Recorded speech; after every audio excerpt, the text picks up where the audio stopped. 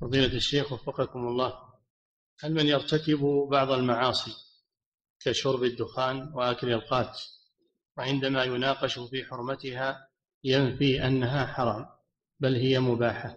إيه، إيه، ما لك بحيلة. اللي تقول له هي حرام وتذكر له أضرارها ومفاسدها ويقول لا هي مباحة. هذا معاند اتركه نعم.